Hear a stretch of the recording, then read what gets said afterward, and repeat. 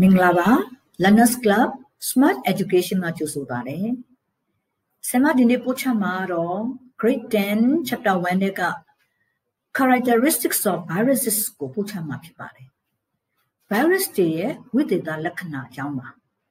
Virus များဤဝိသေသလက္ခဏာများဆိုပြီးတော့အလုံး9ချက်ရှိပါတယ်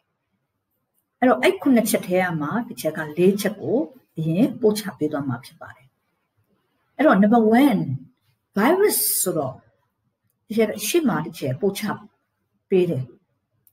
virus နဲ့ပတ်သက်ပြီးတော့ရှေ့ရှေ့မှာပို့ချတာပါလေပုံလေးနဲ့ဟောဒီမှာ virus အကြောင်းအဲ့တော့ဒီ virus တွေဒီမှာဒါ influenza virus ဆိုပြီးတော့ခုနကတော့ရှေ့မှာပို့ချခဲ့တာအဲ့တော့သူမှာပေါ် protein နဲ့ ပုတ်ထားတယ်ဒီထဲမှာ RNA ribonucleic acid လို့ခေါ်တဲ့မျိုးရိုးလိုက်တဲ့ပစ္စည်းတွေရှိတယ်ဆိုပြီးတော့အဲ့တော့အဲ့ဒီ virus ရဲ့ characteristic ကိုအခုအသေးစိတ်ပို့ချမှာဖြစ်ပါတယ်နော်ဒါတို့မျိုးလုံးထဲမှာမြင်အောင်လို့ချက်ပြောတာပါ number 1 viruses are not generally considered to be alive တို့တရှိလို့မတတ်မှတ်ဘူးတဲ့ viruses are not consider မတတ်မှတ်ဘူးအစင်စားဘူး to be alive to သူ့ကိုတက်ရှိလို့ generally ရေဘူးရအဖြစ်သူ့ကိုအသက်ရှိတယ်လို့မသတ်မှတ်ပါဘူးတဲ့ viruses are not generally considered to be alive. Now not အရေးကြီးပါတယ် number 2 they are very small. အရင်သေးတယ်ဘလောက်သေးလဲဆိုတော့20 to 400 nanometer. millimeter မဟုတ်ဘူးနော် nanometer. 20 to 400 nanometer. အဲ့လောက်ပဲရှိတယ်အရင်သေးငယ်တယ်တခါ non cellular particle cell မရှိဘူးသူက cell မရှိတဲ့ particle ပစ္စည်းလေးတစ်ခု non cellular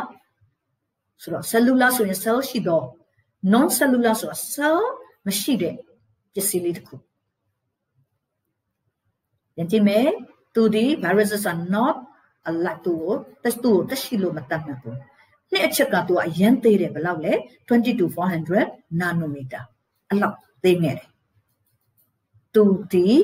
cell နဲ့ဖွဲ့စည်းထားတဲ့အရာမဟုတ်ဘူး non cellular particles number 3 each virus particle ဒါဆိုအဲ့ virus particle မှာဘာပါတယ်လဲ contains DNA or RNA DNA genetic material RNA genetic material ပဲမျိုးရိုးဗီဇတွေပါဝင်တဲ့ပစ္စည်းကိုပြောတာ DNA ဆိုဒီမှာအရှေက deoxyribonucleic acid RNA က ribonucleic acid เนาะအဲ့တော့ဒီဘယ်တော့ဒီမှာ DNA ဆို DNA ပဲရေး RNA ဆို RNA အကုန်ကပ်ပြလက်တော့အဲ့တော့ virus တွေမှာဘာပါလဲ DNA သို့မဟုတ် RNA covered အုပ်ထားတယ် by a protein coat ခုနကချက်ပုံပြတယ်သူ့ရဲ့အပေါ်ကနေပြီးတော့ protein coat protein လေးနဲ့ဖုံးထားတယ် ဆို number 3ပြပါပြီ each virus particle contains DNA or RNA covered by a protein coat